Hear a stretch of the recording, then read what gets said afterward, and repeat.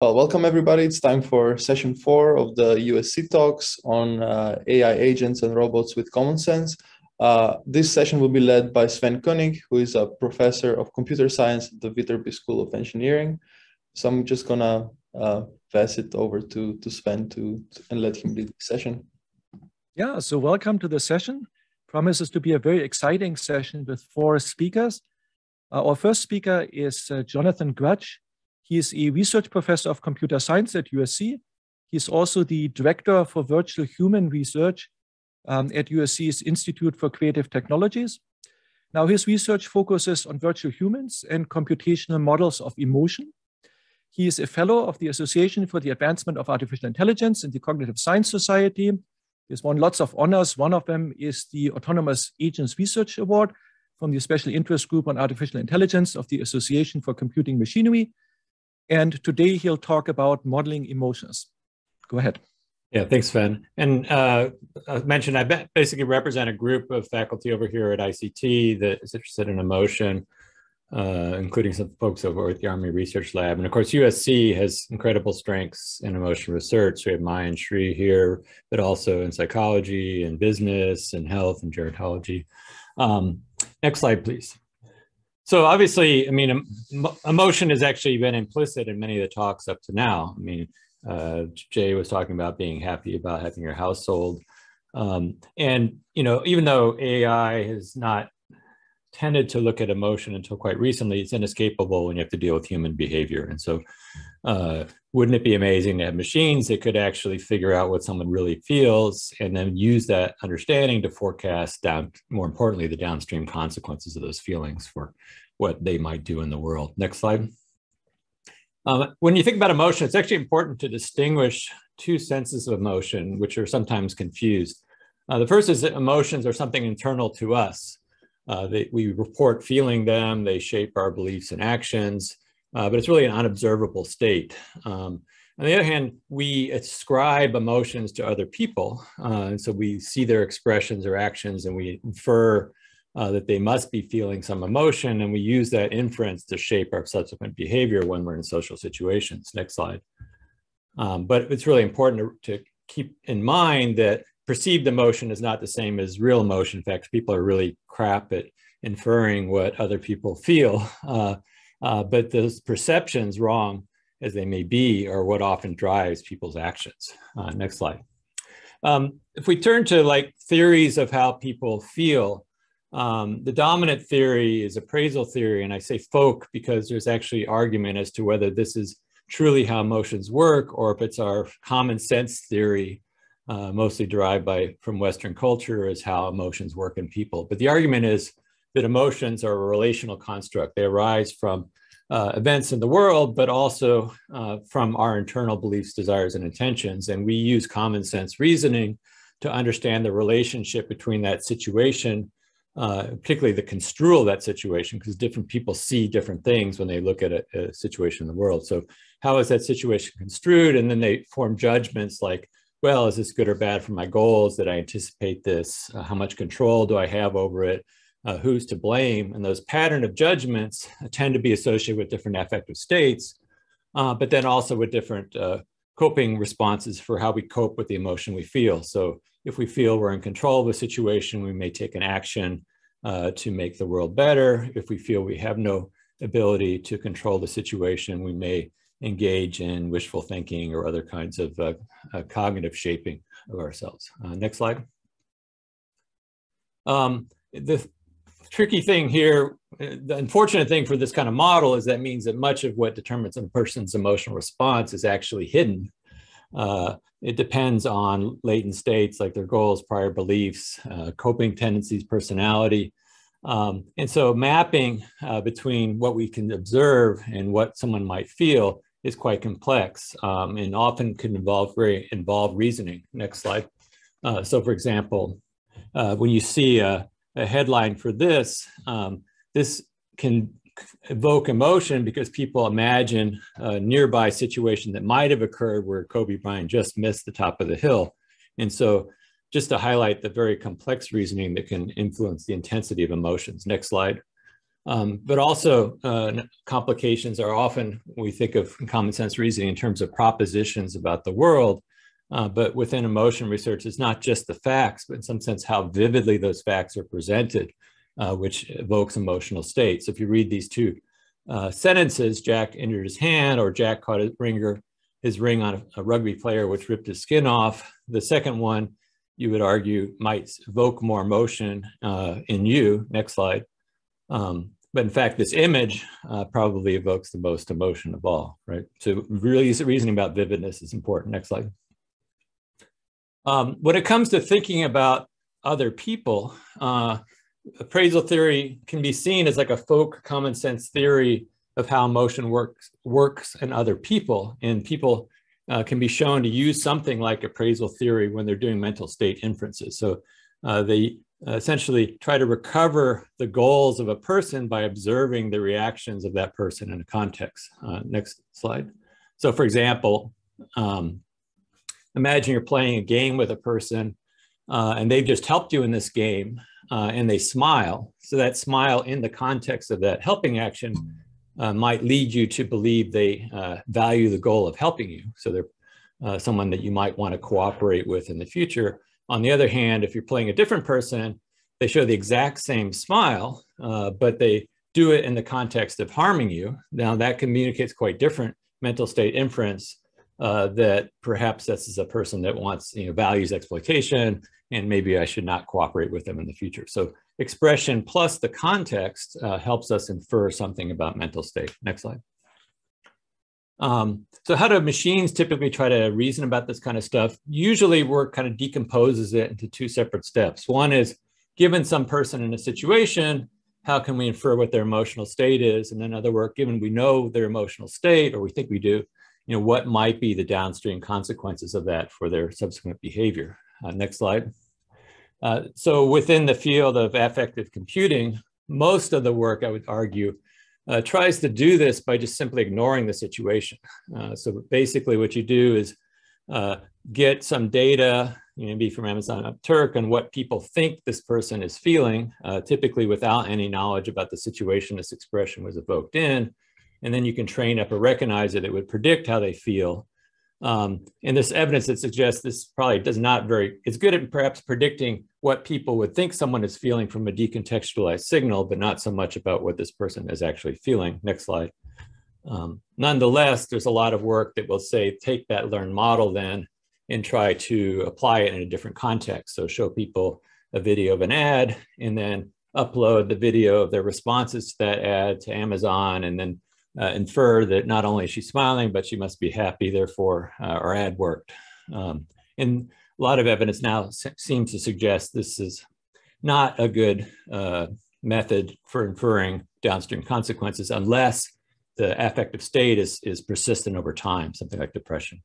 Um, the alternative is to really try to dig in and try to reason about situations. And so a lot of my uh, early work is focused on how could we reason from descriptions of situations as to what a person might feel in that situation. And typically, uh, this is very knowledge intensive. And so we build planning models that uh, if you know this person's goal and you know the situation that uh, has just occurred, you can reason through the causal chains as to what, how they might feel uh, when presented in the situation. Uh, next slide. And so you could, for example, and we've done this where we encode various kind of vignettes into the model and then we can make predictions, for example, about how someone might feel, including like who I might be angry at uh, in a particular situation through the kind of common sense reasons, reasoning that people do when they when they see scenes like this. So in this case, uh, uh, somebody does something bad, but you actually would be mad at the person that uh, kind of coerced them to do that act rather than the actor themselves. Uh, um, so how do machines then could use this kind of situational reasoning to uh, infer downstream consequences. So basically, uh, a lot of the argument is that when people make decisions, um, they don't necessarily follow uh, decision theory expected utility models, but they try to essentially maximize their expected emotion. Um, and so if you can, or their anticipated emotion that might result from different actions. So if you can predict how they might feel in different subsequent situations, then you can uh, essentially use a modification of decision theory to predict what kind of choices they might prefer to do uh, in an action. Um, how do we go forward? So uh, I would argue what we really need to do is combine those kind of two streams of work is to uh, reason about expressions that people reveal, but in situations. Uh, in, in some sense, if you can have both, that can perhaps help constrain better mental state inference than focusing on one of those modalities by themselves. Next slide. Um, just to highlight one, uh, it's hard because you need a lot of common sense reasoning to do it, and maybe, and hopefully this community can help with that. But one very simple example uh, moving in that direction is some interesting work by Dacher Keltner up at Berkeley, where what they tried to do was uh, combine expression recognition with some kind of reasoning about the situation in which the person was in. So for example, they didn't exactly use AlexNet, but you can use something like AlexNet to extract uh, information from the scene to say, okay, they're, they're watching fireworks or they're in a riot or what have you, and that can allow you to be make better inferences.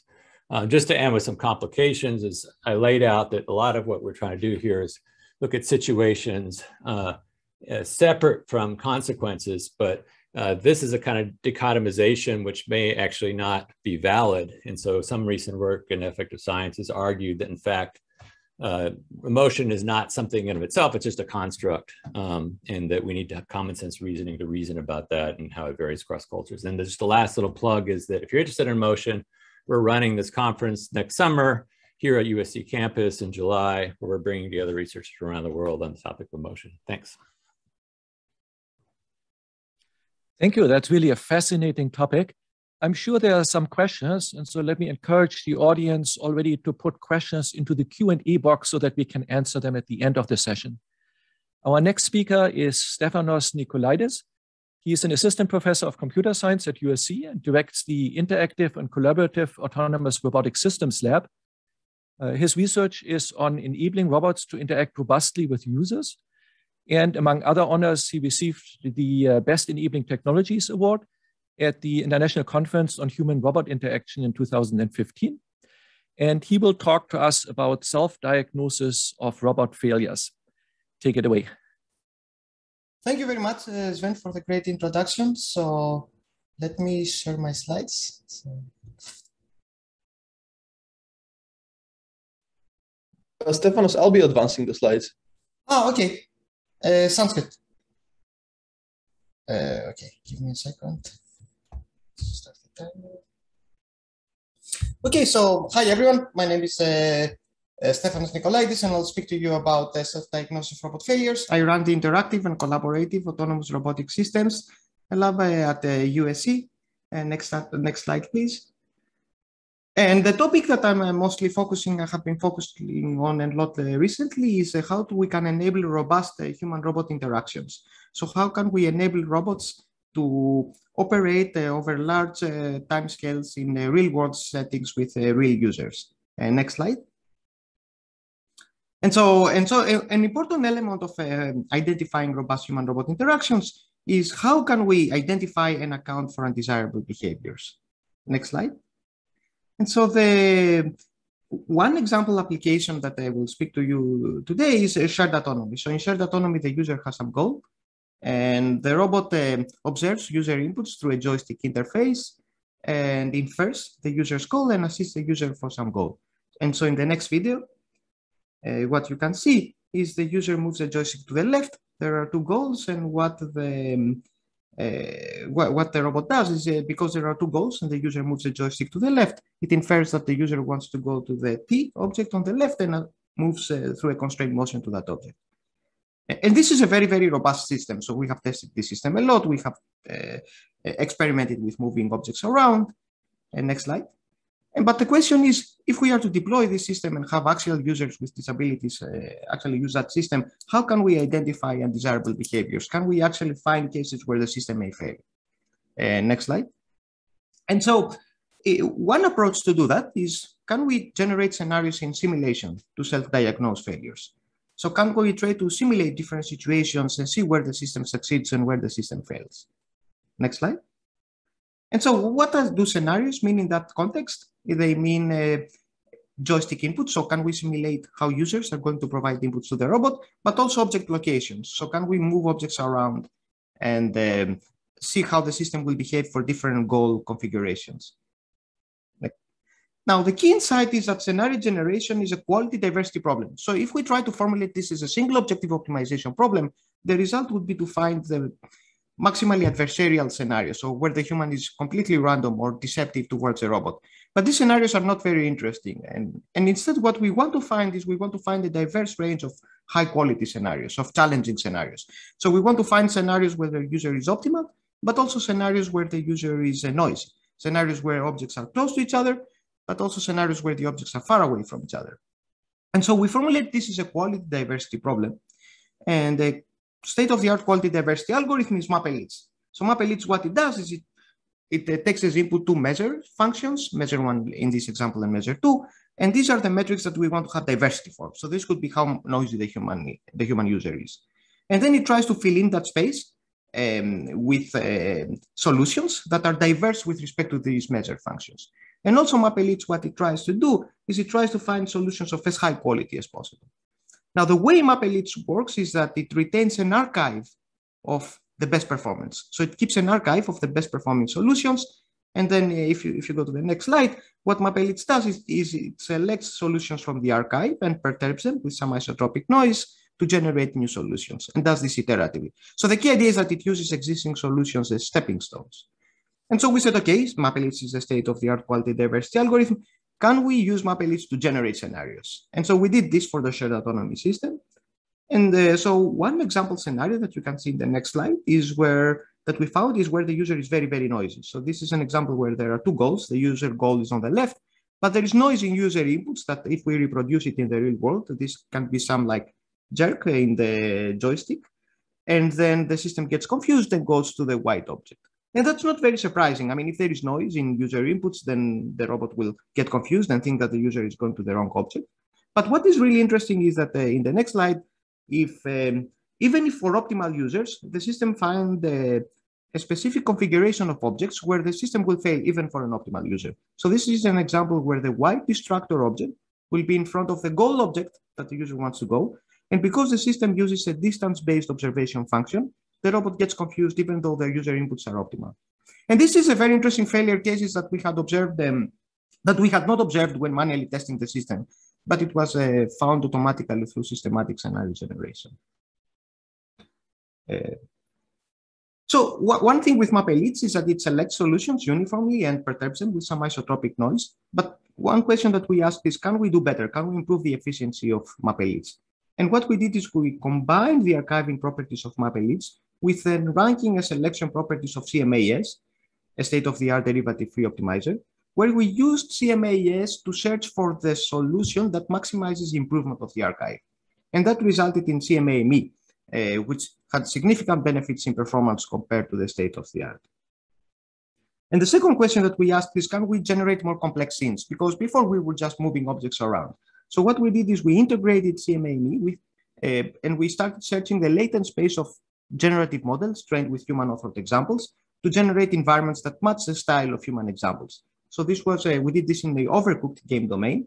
And the, the goal was, can we generate overcooked environments, game environments that result in very different uh, coordination behaviors? So the next slide will show two example environments that were automatically generated. In the left environment, you have the two agents that uh, form an ad hoc team, and they can coordinate very, very, very well. So you see both objects are very, very accessible, and the two agents can coordinate. In the right environment, you see that there is poor coordination. So you see that one agent has to wait for the other agent to come. The two agents gets confused. There is a longer corridor. Uh, so you see here also there is some confusion um, on how to cross. And, and this, and even though the two agents run exactly identical algorithms in both applications, you see that in the second environment, the coordination is much, uh, uh, much worse. And this, these environments are intuitive, but they were completely automatically generated. Next slide. And so uh, right now we are, in terms of applications, we are focusing on um, robot-assisted assembly. So what happens, uh, so we have a system where the robot helps a user, but what happens if we start moving objects around and we change the environment? How will this affect the coordination behavior? And we, uh, then the other application is a robot hair combing. So this is actually in the next slide. So this is uh, this is Nathan, who is also co-advised by Maja Mataric, and this is demo that we did at uh, NeurIPS back when everything was uh, in person. And he has some uh, short hair, so the robot will follow a specific path to uh, following his hairstyle. But Yura, in the next slide, who has much longer hair, and it's a completely different uh, hair combing strategy. And so the question is, can we automatically generate hairstyles and generate user behaviors to test the system? Um, and all these algorithms that I have discussed are open source. So in the next slide, you'll see that uh, we have a, a pyribs library that um, uh, is completely open sourced and you can use to uh, use these algorithms and generate uh, diverse environments and diverse uh, scenarios as well. And next slide.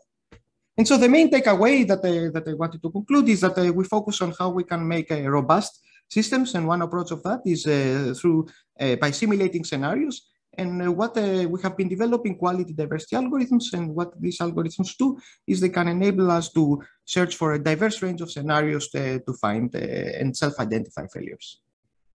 That would be all. Yeah, thank you for a great talk. Um, and again, for the audience, please put your questions into the Q&A box. Uh, we are going on to our third speaker, Maja Mataric. She is the uh, Chan Soon Shiong Distinguished Professor of Computer Science, Neuroscience, and Pediatrics. Uh, until recently, she was also the Interim Vice President of Research at USC. She directs the Interaction Lab, and her research focuses on socially assistive robotics. She is a fellow of the American Association for the Advancement of Science, of the uh, Association for the Advancement of Artificial Intelligence, the Institute for Electrical and Electronics Engineers, and the Association for Computing Machinery, but maybe more importantly, she was featured in the documentary movie Me and Isaac Newton. And today she talks to us about trust and deception in robotics. Go ahead. Thank you, Sven. Um, it's great to be a part of this particular group because I feel like we all so build on one another's work. So I'm going to talk a little bit about trust, deception, and bias um, in human robot interaction. And this is work from, of course, the entire Interaction Lab, and in particular, great contributions by our undergrads as well as graduate students. Next slide. So our particular work is in this field of socially assisted robotics, where the idea is that we use social rather than physical interactions to support human behavior, and in particular, uh, behavior change. Next slide. So we're really motivated by the huge problems in human health. Um, John mentioned some of the depressing statistics. This is a slide I've been using for 15 years, and I just keep increasing the numbers. So that's quite distressing. On the other hand, there are huge opportunities for technology supported human behavior change aids. Next slide. And so what we're interested in is really how do we empower that behavior change through social interaction. We know this is a very powerful thing to do because we know in human behavior, change really comes about largely through social um, influence and pressure, which could be positive or negative. Um, and for this to happen, trust is necessary. But what we see immediately is that bias is omnipresent. So the bias is in the designer um, and introduced by the designer into the technology the biases in the design, in our case of the robot, but also the interaction, uh, because interaction design is a big part of what we do and what is now increasingly being focused on broadly. Um, it's, of course, present in the data and the models that we use. Um, and then, interestingly, it's also very present in how the user responds to the robot. And so I want to talk a little bit about some of these issues. Next slide, please. So the fact that the robot has a body is complex, and it's complex for all of these reasons that I list here, but specifically it's complex because everything about how we perceive it is already biased. And so let me uh, give you an example from a study that we did in the next slide. Um, so Nathan, the student that you heard about um, in uh, talk, also did this work. Nathan is amazing. He does so many things. Um, so he did this interesting study looking at human perceptions of what should be an androgynous robot. And this is a special robot that we developed with UPenn, which is really built to be you know intentionally androgynous and it's kind of almost human sized and so the question is how can we you know study um, human user uh, biases and we looked at the multimodal um, presentation of the robot where the robot uses a voice and it also has you know this physical appearance and a, a small amount of movement. Um, and we find some interesting results. I mean obviously you would expect that there would be bias. What's interesting is that it's not obvious how the different modalities influence the bias in human perception. So um, Nathan did a really beautiful thing of using a single voice and then modulating it so that it sounded traditionally male, traditionally female, and sort of in between, um, and then looked at how the voice overlays with the appearance. And we find that when the voice is androgynous, which is the case for most um, technology voices, right? Most synthetic voices, then the visual appearance, and in particular clothing, really shifts the perception and it shifts it towards task stereotypes. So, for example, if you have a robot that's wearing clothes that are not really that feminine or masculine, look at those at the bottom, you still see that people perceive the robot as significantly more feminine. Um, and therefore, if you tell people that that robot is working in the medical profession, um, then people assume that you know if it's female it's a nurse if it's male it's a doctor right so all of the underlying stereotypes that we see we see reflected in some expected and then in some unexpected ways.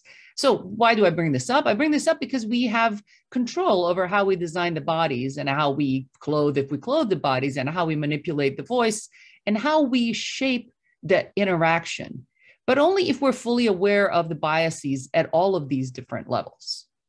Um, let's skip to the next slide.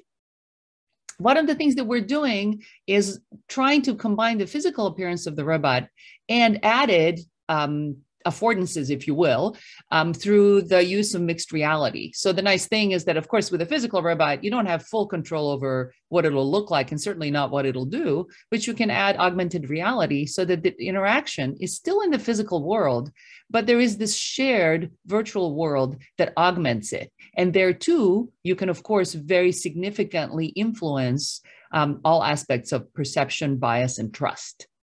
Next slide. So, of course, the really interesting thing happens in the interaction itself. So far, I talked about appearance, which is incredibly complex in itself, but then, you know, what happens in the interaction dynamics.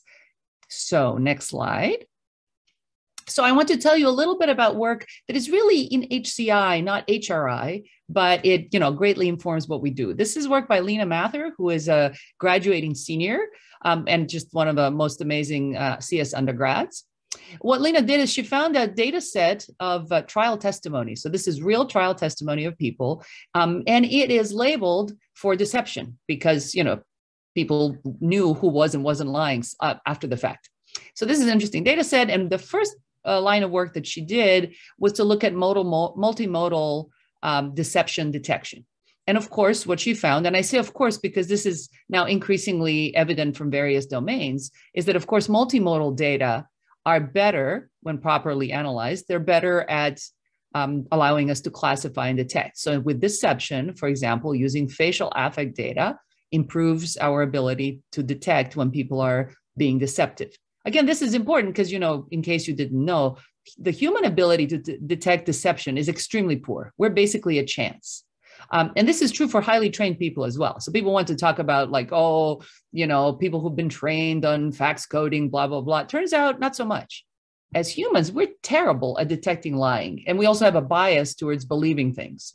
Um, so anyway, on the next slide, you see the next thing that Leena did, which is um, the, I think the really interesting bit, which is using unsupervised transfer learning between a, a deception data set that was low stakes meaning that people were not actually lying, they were just pretending to lie. And then using that in order to train to detect in an unsupervised way the data of uh, the actual high stakes detection. And the accuracy drops a little bit, but it's still very impressive. So this is interesting because we find that deception is in some sense stable. Um, and even though this data set wasn't cross-cultural, it'll be interesting to see. And in her continued work, she's looking more at cross-cultural um, communication because some things are very culture constant and some are not. And deception might be culture constant. Um, another thing we've looked at is empathy in storytelling. Uh, we did a large study here at USC pre pandemic in person. Next slide. Um, and what we found is that people are very biased, if you will, in how they will trust and provide empathy. And so when a robot talks about itself in the first person, people are much more likely to be empathetic than when it tells exactly the same content in the third person describing another robot. Um, and also people who feel that they have, hold the slide, and people who, okay, thank you. People who feel that they are expressing empathy um, actually are expressing empathy with their facial expressions, which is interesting because often when we look at human data through questionnaires versus functional human data, there's a really large discrepancy. So next slide. So what we find actually by building a machine learning model then on the data from what people say, where they look, and how they respond to the robot in a multimodal data set. Uh, we find that in fact the facial action units that people that are that are critical for expressing the facial expressions of compassion are very indicative of people expressing empathy and they are consistent with their perception of empathy um, so this was interesting right because it really points to the fact that it really depends what kind of context you're working on and things are very different in empathy than they might be in deception than they might be in some other context um, so this is something that John has said previously in other talks as well, which is how important context is, and yet something that is very difficult to study in a principled way. I want to skip to the next slide now.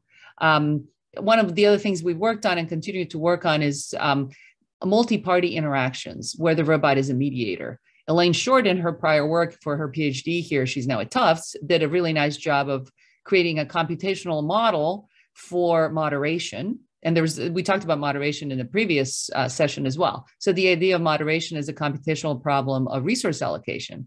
And she was able to basically demonstrate computationally how we can um, find organizational theory results right? So the robot can encourage people to all speak and that results in much greater cohesion of the group and people having increased trust and then later on actually being less selfish whereas if you optimize for solving the task in the shortest amount of time cohesion drops um, cutthroat behavior increases and trust is low.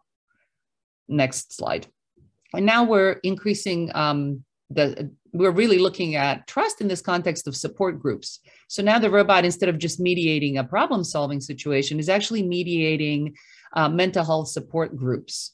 Um, and this is a really interesting question, especially during the pandemic, because mental health has become such a major issue. And mediation is a very effective tool, but people don't have access to always have a human mediator. It's a high burnout situation. So it's very interesting to see what kinds of uh, robot um, elicitation of empathy and disclosure increase trust and improve the amount of disclosure, because the more disclosure leads to um, better health outcomes.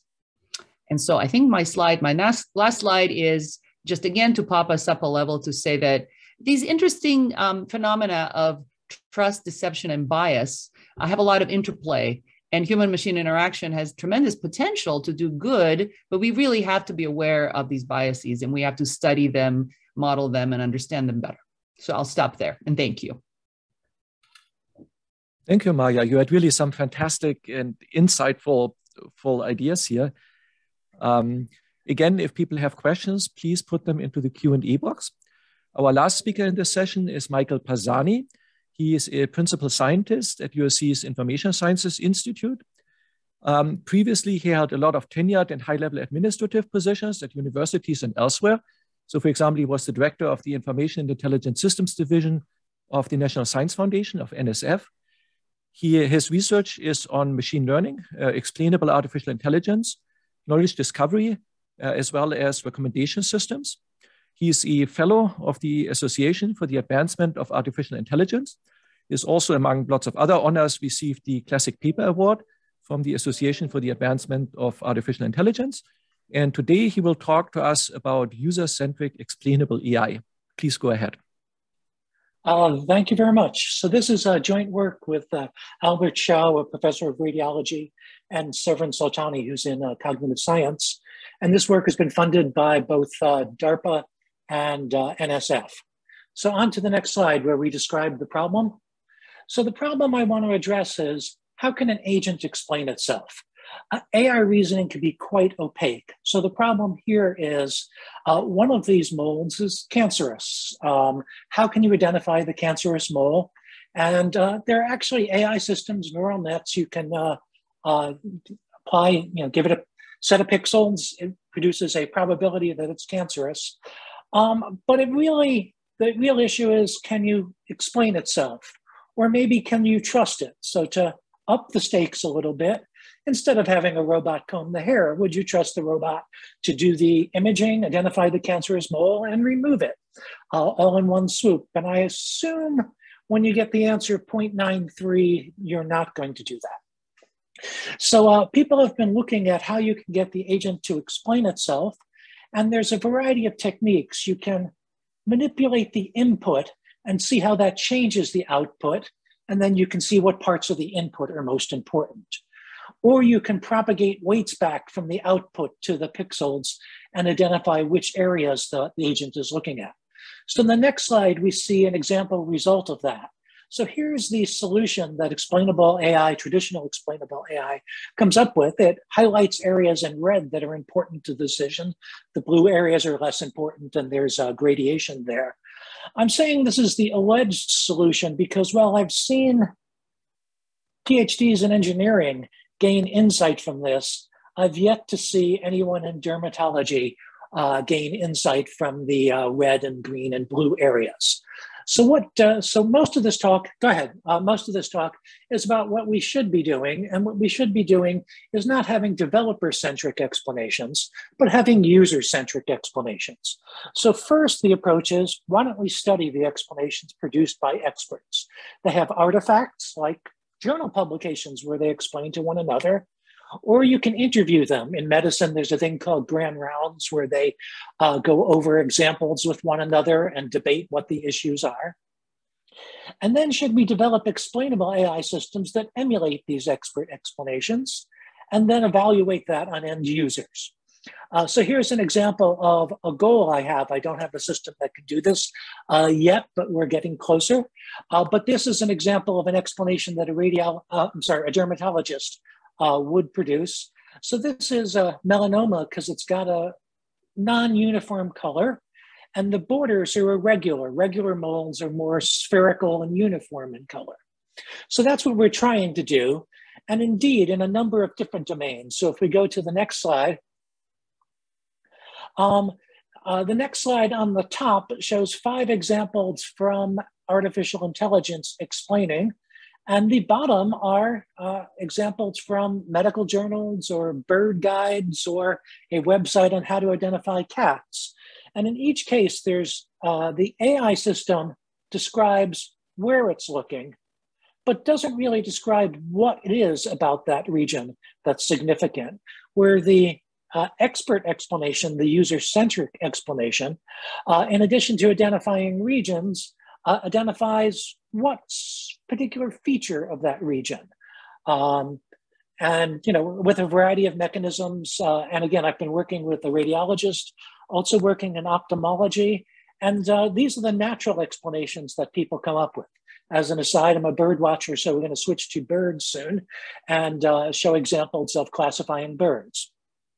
So another thing that we've done is we've studied human subjects what do they prefer in explanations? So we've showed them uh, a picture like this with labeled arrows describing important and significant features, or bounding boxes, or heat maps, or just a textual description like this is a uh, bird with a black head and a rufous side with spots on the wings and a red eye.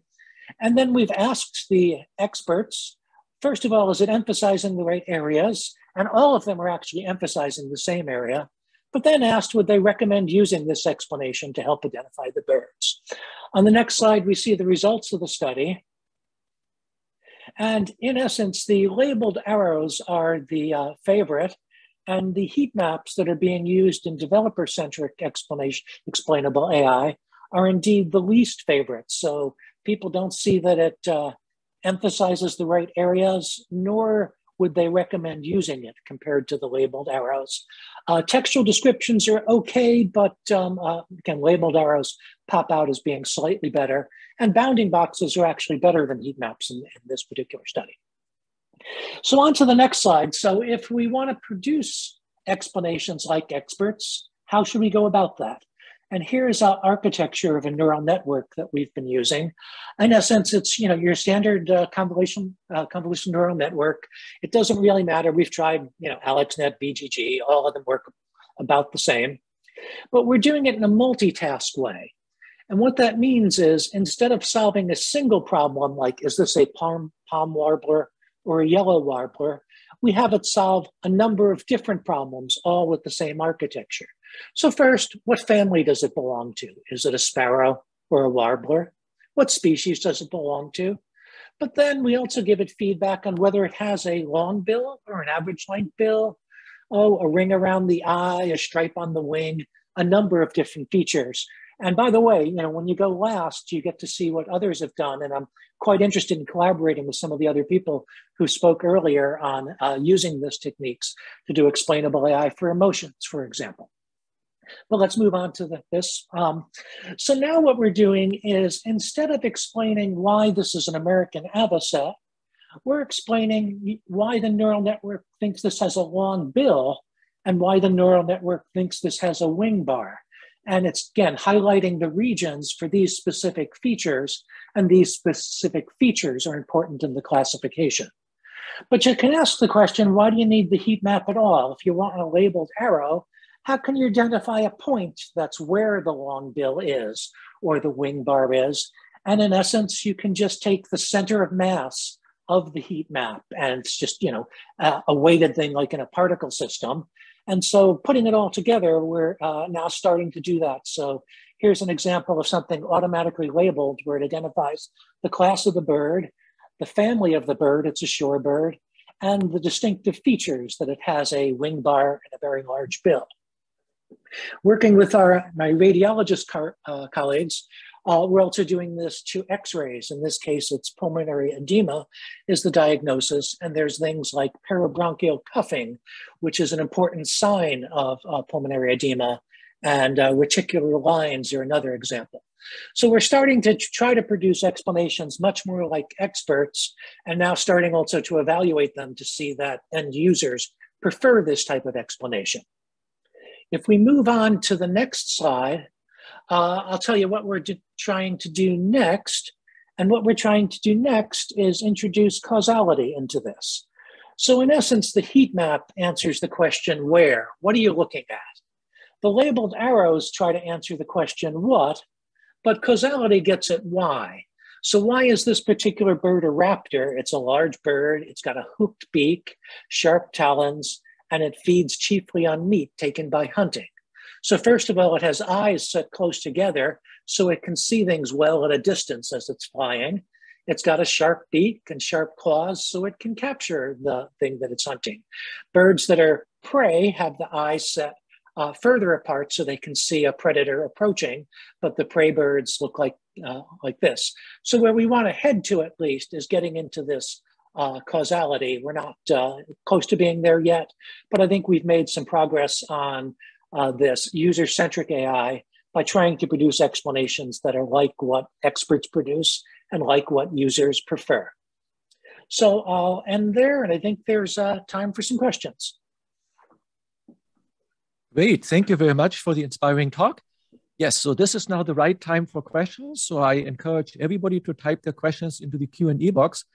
Uh, let me start out by grouping sort of some questions together that seem to have something to do with sort of the ethical implications of, of some of this fascinating research. Um, so it seems that all of the phenomena that you folks have talked about could be exploited. Um, you know, it could be used for, for, for good or also for, for evil. Uh, so for example, right, I mean, Jonathan talked about uh, creating and understanding emotions, right? Could that be used for, for um, influencing buying decisions of people on, on websites?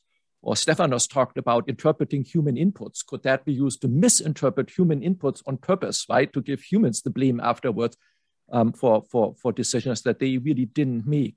Maja talked about stereotyping in the context of robotics. So what is it that robotics researchers can do to overcome these, these stereotypes? Um, and Michael talked about uh, explanations, right? I mean, could people create misleading explanations? Um, you know, again, that influence human beings. Uh, so maybe everybody could sort of comment on on how can we use this research, you know, for for good, and how can we avoid that this gets exploited by the wrong people.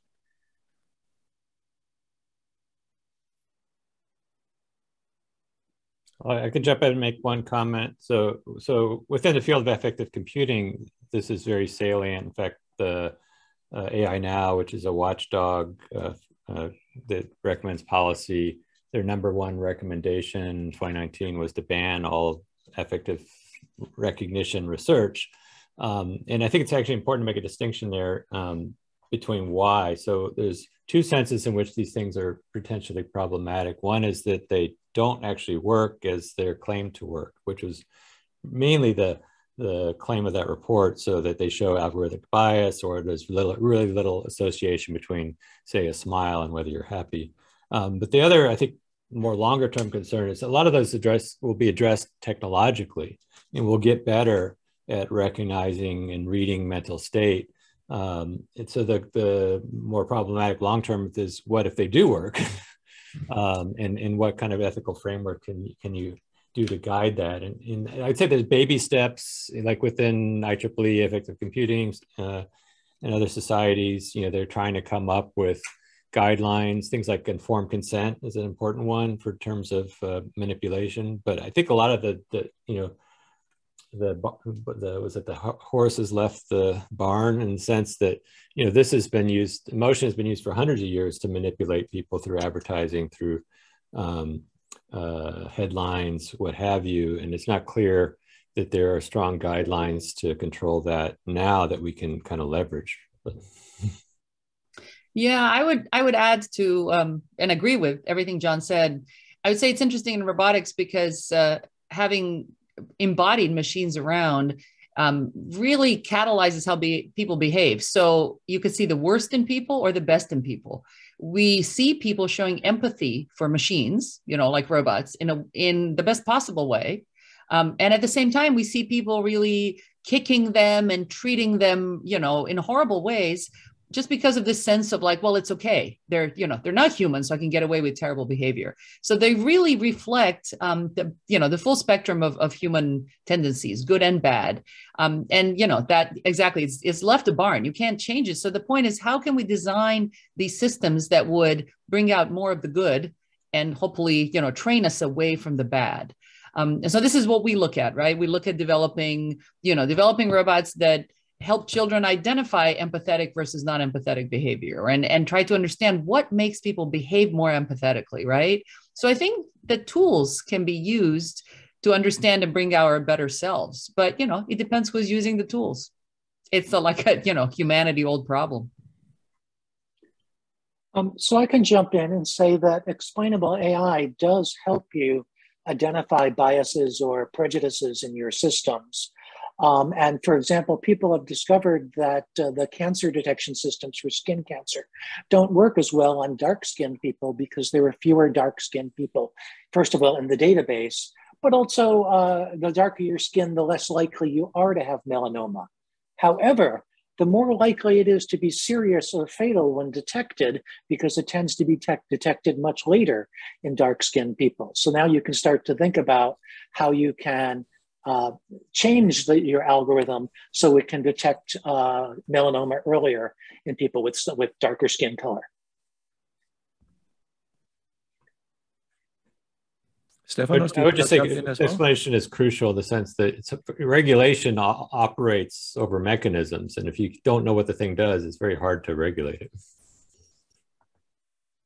And I just wanted to add that uh, I completely agree. So they these systems, uh, on one hand, they can, uh, you know, we have shared autonomy systems and they can understand human intent and uh, help people. On the other hand, uh, there are all these different ways that people can uh, use these systems in a malicious way. Uh, and I think one approach is, I completely agree that explainable AI is a, is a good way to understand how, how, how the systems are going to perform and also some type of systematic testing. So when we systematically test the systems in the same way that you systematically would test the a car in production, right? But in this case, you would need to not only assume that users will behave in a specific way, but you would need to account for a range of user behaviors, including malicious behaviors, and uh, try to understand what will be the outcome um, when this when people uh, interact with the system in this way.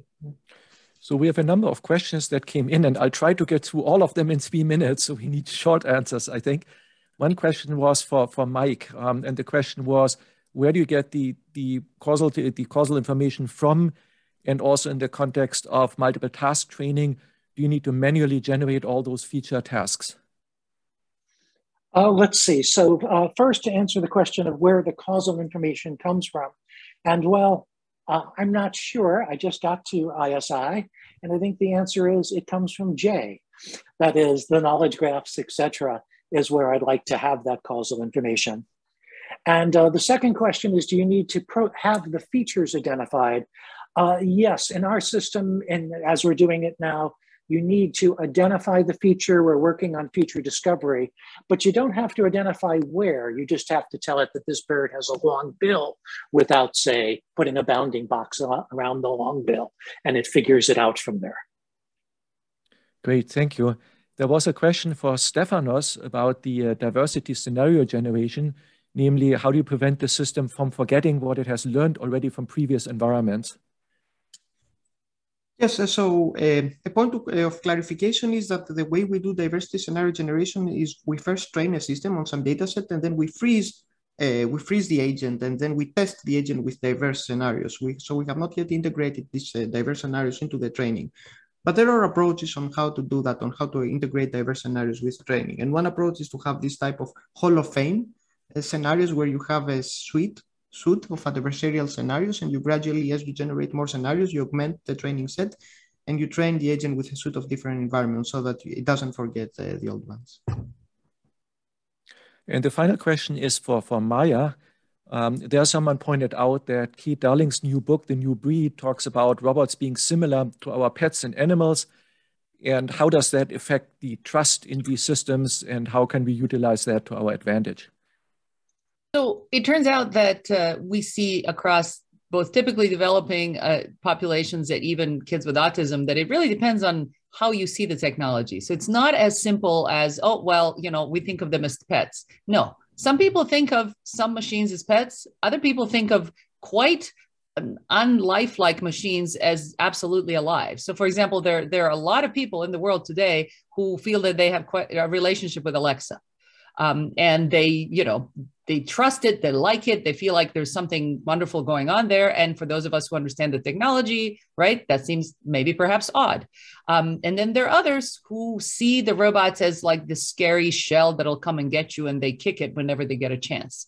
So it is not as simple as one size fits all. And that's what makes it a hard problem. As always, we have to personalize our technologies. We have to understand about the user individually and then it's even worse because you need to understand about the user relative to their specific you know experiences and biases and everything. And then when the user is with someone else or with a group and which group is it? In group out group then behaviors change as well. So you have to study one-on-one you have to study multi-party behavior you have to look at societal behavior.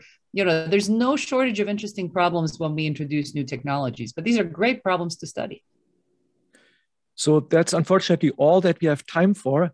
But obviously, sort of aspects of common sense in, in machines makes for a very, very inspiring topic, as we have seen already looking at all of the talks and all of the questions that popped up. So I want to thank all of the speakers again. I also want to thank everybody who asked questions. And if there are more questions, I mean, don't hesitate to contact the speakers, you know, outside of the symposium.